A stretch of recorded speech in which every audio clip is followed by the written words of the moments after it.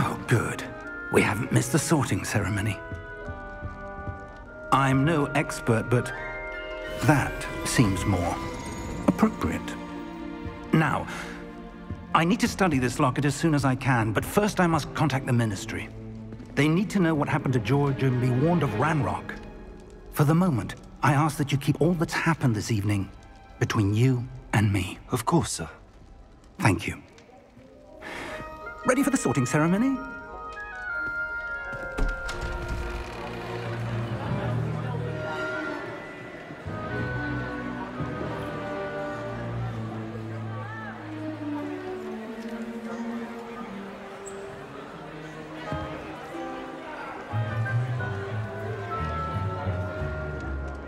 Phineas, Nigellus, Black.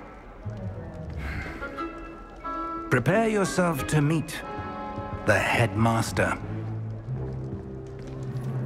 Fig, nice of you to join us. The sorting ceremony's over. There were complications. Complications? it seems the goblin problem has... Enough. Goblins. I've no time for rumors, Fig, and I'm rapidly losing whatever patience I had left.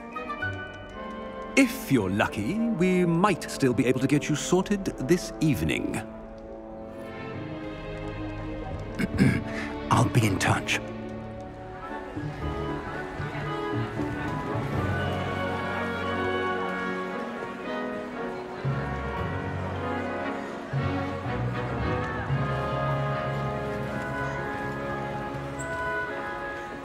Professor Weasley, we've one more to be sorted.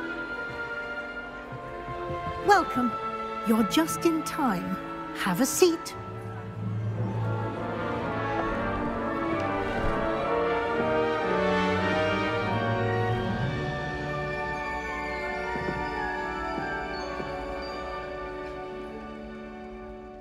Ah, yes. A bit older than the others, aren't you?